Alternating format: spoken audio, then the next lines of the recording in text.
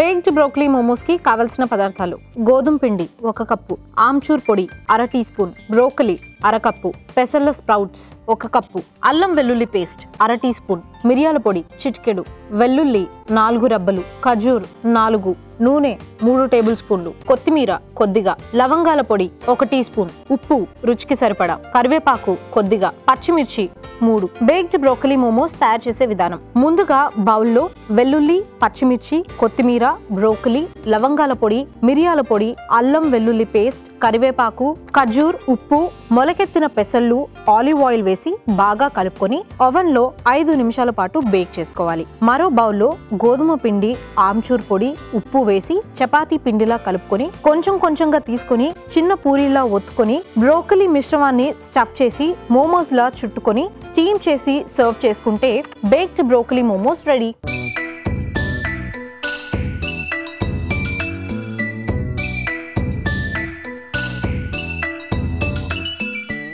Okay అండి చూశారుగా మా వీడియో. మీకు నచ్చినట్లయితే మీ ఫ్రెండ్స్కి షేర్ చేయండి లైక్ చేయండి. మా వీడియోని సబ్స్క్రైబ్ చేసుకోవడం మర్చిపోకండి.